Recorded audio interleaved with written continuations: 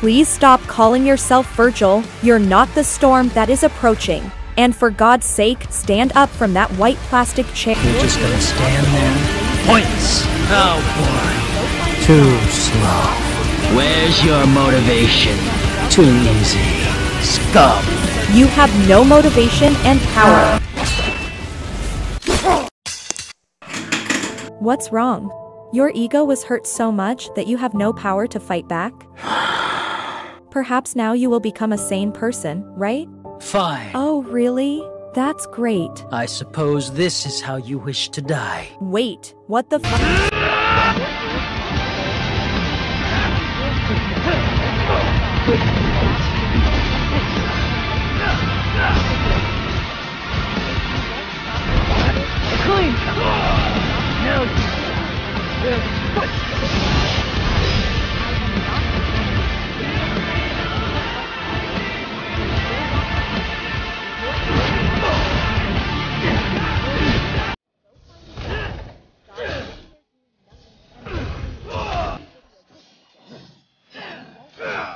you down